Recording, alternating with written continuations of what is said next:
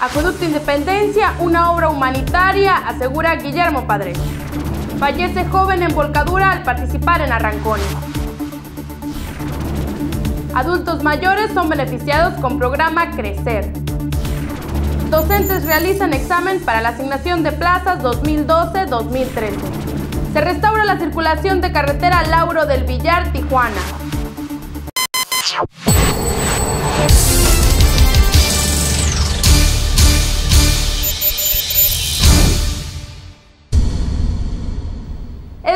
16 de julio, gracias por acompañarnos, le deseamos que tenga un excelente inicio de semana, yo soy Marlene Selene Reyes, esta es la información.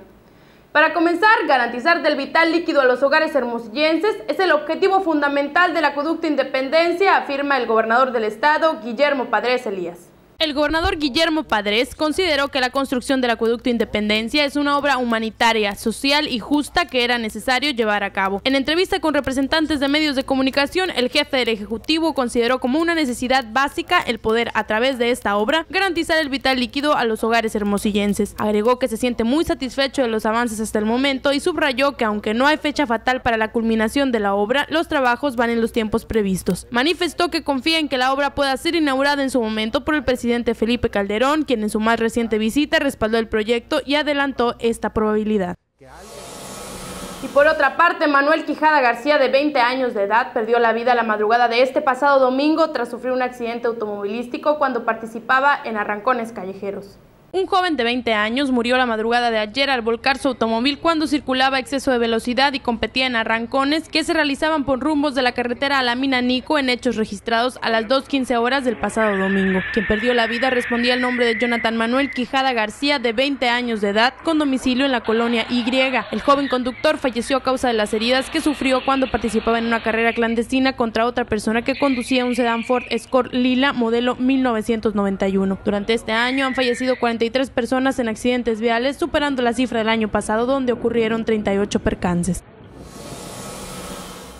Como parte del programa Crecer, fueron beneficiados adultos mayores al recibir el apoyo económico que se les otorga cada seis meses. Se espera que sean alrededor de 50 mil los beneficiados. Se entregan apoyos del programa Crecer de la Secretaría de Desarrollo Social del Estado de Sonora con un 60% de adultos mayores beneficiados, informó Alberto Plasencia Osuna, titular de esta dependencia. El funcionario destacó que el apoyo es de 500 pesos depositados en la tarjeta Crecer y puede ser canjeable por ropa, calzado, medicamentos, alimentos o para pagar algún servicio básico, como lo es el agua, la luz o el predial. También agregó que antes de la veda electoral se entregaron cerca de 16.082 apoyos en el sur del estado en los municipios de Empalme, Bacum, Benito Juárez, Cajeme, Navojoa, Echojoa, Guatabampo y Álamos, y que se está trabajando para que todos los adultos mayores tengan su apoyo lo antes posible. CESON tiene programado cubrir el 40% de los beneficiarios en agosto de 2 al 4 en San Luis Río Colorado, después del 6 al 7 en Agua Prieta y cerrará la entrega en Hermosillo del 13 al 17 de agosto. El padrón del programa Crecer con Adulto Mayor es de más de 50 mil beneficiarios, quienes al año reciben mil pesos en dos administraciones, la primera en verano y la segunda en invierno, informó para Canal Sonora Marlene Valero.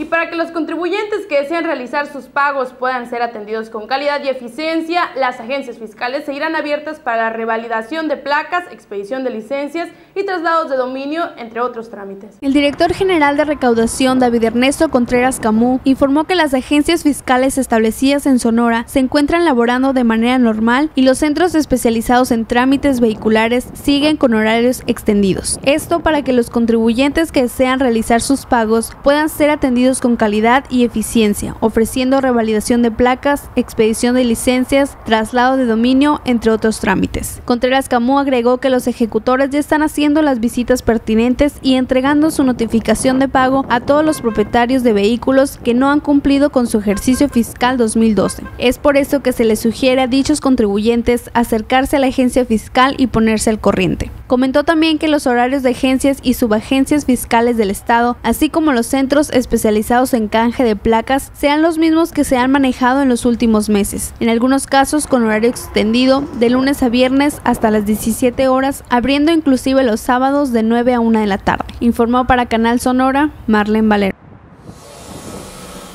Con una duración de tres horas, futuros docentes llevaron a cabo el examen nacional de conocimientos para la asignación de plazas 2012-2013. Con la participación de más de 2.400 aspirantes registrados, se llevó a cabo en Sonora, al igual que en el resto del país, el examen nacional de conocimientos, habilidades y competencias docentes para la asignación de plazas 2012-2013, informó en un comunicado la Secretaría de Educación y Cultura en Sonora. Cabe precisar que en el examen tuvo una duración de tres horas y se contó con la participación de observadores observadores ciudadanos quienes se acreditaron para verificar la transparencia y legalidad del proceso, donde la oferta estatal es de 734 plazas de jornada y 1981 horas semana mes. Los resultados del examen nacional serán dados a conocer el 22 de julio próximo en la página www.concursonacionalalianza.cep El resultado definitivo de la evaluación local será publicado el día 31 de julio de 2012 en la página internet www.sec-sonora.gov.mx. Informó para Canal Sonora Bianca Morales.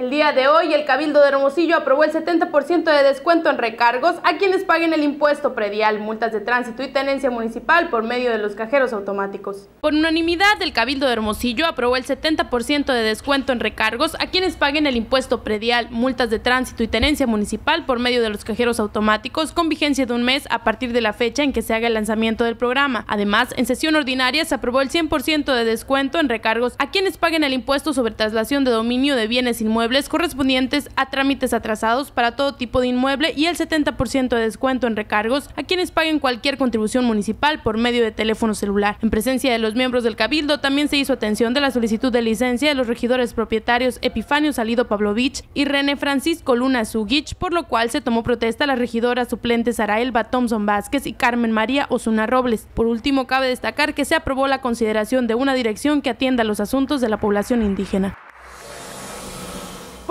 Ya están en trámites la colocación de electricidad para los vecinos de la colonia Humberto Gutiérrez, quienes estas últimas semanas han estado protestando frente al Palacio Municipal. Aunque ya se firmó la anuencia para instalar el servicio de energía eléctrica, los vecinos de la colonia Humberto Gutiérrez y la organización Antorcha Campesina mantienen aún el plantón a las afueras del Palacio Municipal desde el 29 de junio para exigir el servicio de luz eléctrica, a lo cual el secretario del ayuntamiento, Francisco Javier Traín Jubera, quien se ha encargado de atenderlos, informó que ahora solo están esperando que la CFE actúe y señaló que acordaron acortar los tiempos de los trámites que llevan alrededor de un mes considerando la situación. El secretario reconoce que tienen una necesidad y dijo que se está resolviendo por las vías normales. Esperan resultados a fines de esta semana o a principios de la siguiente. Por su parte, la comitiva de vecinos asegura que no se moverán hasta que se les resuelva la situación completamente.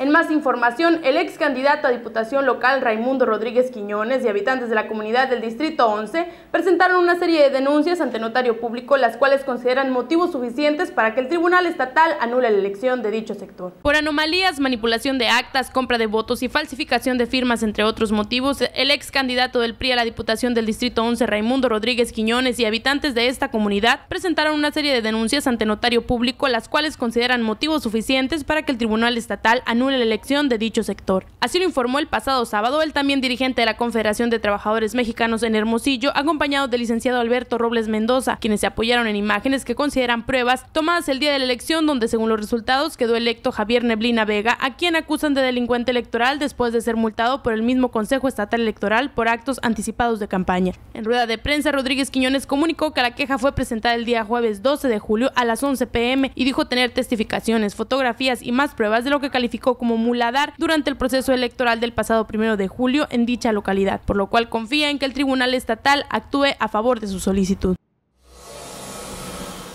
En otras noticias, este domingo la carretera Lauro del Villar Tijuana estuvo cerrada durante seis horas debido al aumento del nivel de agua en un vado en el kilómetro 253.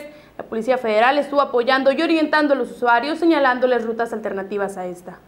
Después de haber sido cerrada la noche del sábado, la circulación de la carretera federal número 2, Lauro del Villar Tijuana, se ha restablecido. Esto a causa del aumento del nivel de agua en un vado en el kilómetro 253 en el tramo Santana Sonoita, informó la Secretaría de Comunicaciones y Transportes en Sonora. Este domingo la carretera estuvo cerrada durante 6 horas de 21 a 30 horas del sábado a las 3.30 horas, periodo durante el cual personal de la Secretaría de Comunicaciones y Transportes realizó trabajos de desasolve en el mencionado vado de la carretera. La Policía Federal estuvo apoyando y orientando a los usuarios de la carretera, así también se sugirió como ruta alterna tomar la carretera costera Sonoita, Puerto Peñasco, Golfo de Santa Clara, San Luis Río Colorado y viceversa. La dependencia federal exhorta a los usuarios a extremar y respetar la señalación carretera y también señaló que se mantendrá la alerta durante cualquier inconveniente que pudiera afectar el tránsito de las carreteras sonorenses. Informó para Canal Sonora Marlene Valero.